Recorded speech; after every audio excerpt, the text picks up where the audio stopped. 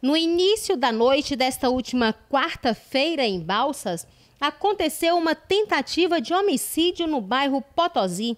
Segundo informações da polícia, o dono do ponto de mototáxi estava em um desentendimento desde cedo com um mototaxista. A polícia esteve no local, mas não encontrou os envolvidos na confusão.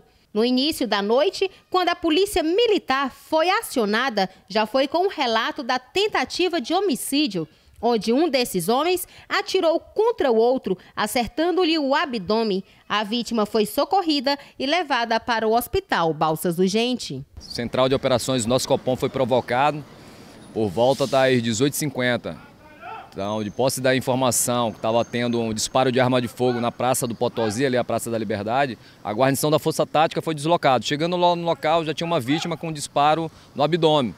O autor do disparo tinha se evadido e tinha entrado numa residência.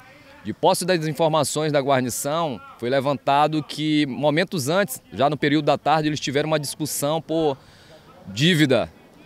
Então, ambos se armaram com facão, ficaram se agredindo verbalmente e quando for partir para agressão física, eles resolveram fugir. A guarnição também foi no local lá e não presenciou nada dessas informações.